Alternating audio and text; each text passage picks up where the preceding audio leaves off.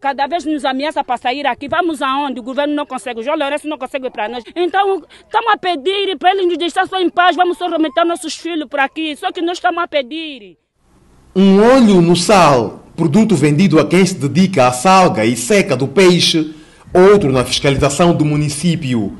É o dia a dia de homens e mulheres que dizem ter recebido as salinas do Kassai dos seus pais e avós, antigos funcionários de produtores coloniais, há 50 anos. Metemos água do motor, vai nos canteiros. Nos okay. canteiros demora uma semana. Uma, uma semana. fica, depois colhe barde, barde no canteiro, começa a comunar e fica monte. Ah, aqui lamentamos colhe porque tem umas crianças que estudam. Quando escasseia o peixe, como acontece há praticamente oito meses, não há lucro. Ressalta uma mulher que não se importa de pagar impostos para acabar com o conflito. O seu colega diz que o encerramento das salinas pode reacender o negócio da venda de terrenos. Porque nós somos os netos dos que já, lá já cá trabalhavam naquela era do tempo colonial. É verdade. Só mesmo essas valas não é admitido para as construções, conforme vocês estão a ver aqui aqueles prédios. O branco praticamente deixou aquilo é para as respirações do mar, mas estão a construir. E se calhar lá não vive ninguém. Aqui nessas casas nesse, nesse, não vive ninguém. Águas a ferver nos prédios, nós estamos a confirmar e ver.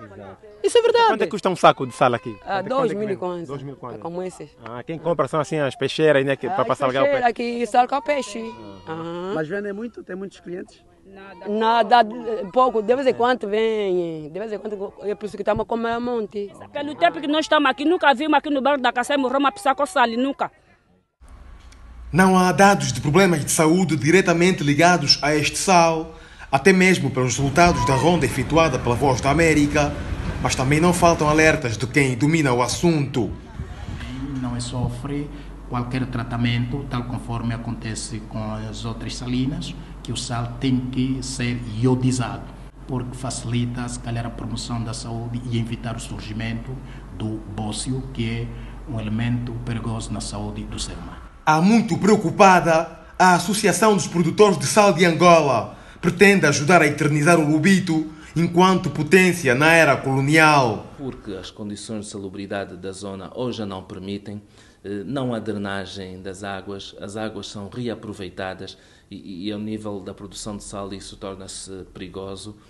E é preciso que neste redimensionamento que se fizer da área, que se mantenha uma porção uh, uh, de terreno para então fazer-se uma salina de experiência e nisso a, a, a APROSAL, a Associação dos Produtores, está disposto a colaborar para que nós possamos preservar a imagem do Lubito como produtora de sal e depois mostrarmos às, às futuras gerações de como é que se faz o sal e que naquela zona, na realidade, existiu uma salina.